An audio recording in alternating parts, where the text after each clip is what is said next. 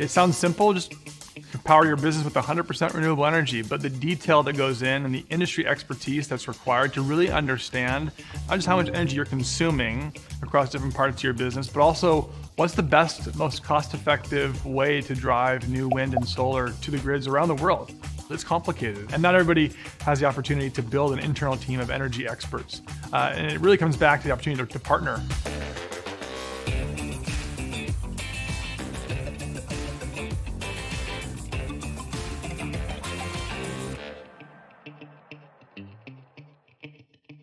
When you take a step back and think about Amazon as a company, it's a, it's a complicated place. We operate data centers, distribution centers, warehouses, commercial offices, grocery stores, and, and all of these different types of operations have a different set of challenges that we're trying to tackle. We set this goal to get to 100% renewable energy by 2030. We started off with questions like, hey, how much energy did we use in India last year or last month?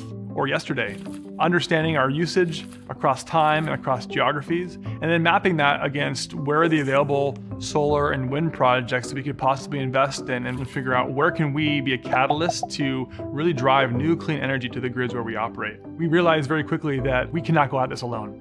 We needed to galvanize collective action across the entire economy, and that's why we launched the, the Climate Pledge, which is really just that. It's, it's, a pledge and a commitment to get to net zero in alignment with climate science, but an invitation uh, to partner and a collective call to action for other companies to take part in this journey with us.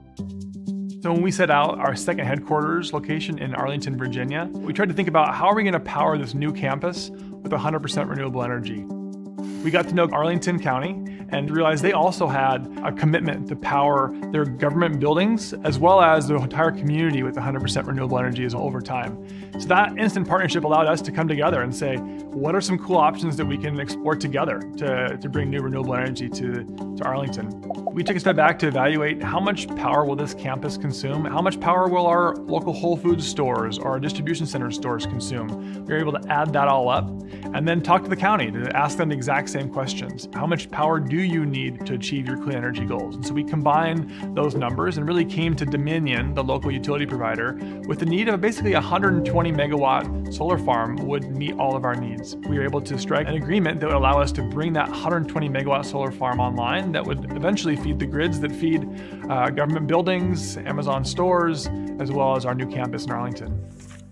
When we started our journey, we were at 42% renewable energy in 2019. And fast forward to today, we're powered by 85% renewable energy across the world. We have a chance to really accelerate that commitment to get to 100% renewable energy from 2030 down to 2025. We have more work to do. Uh, but I think the, the proof points we have with renewable energy give us a blueprint on how we can attack other parts of the climate crisis yet to be solved. How do we decarbonize concrete in our buildings? How do we think about aviation uh, from a zero carbon perspective? How do we know what our buildings consume? How do we know where we need to get to uh, to hit our goals? Amazon wants to get to net zero because we don't have an option. Uh, the climate science is clear. We need partnerships to drive change at scale that's really going to drive carbon out of our global economy. And that was really the spirit of the climate pledge and a call to action to solve the climate crisis.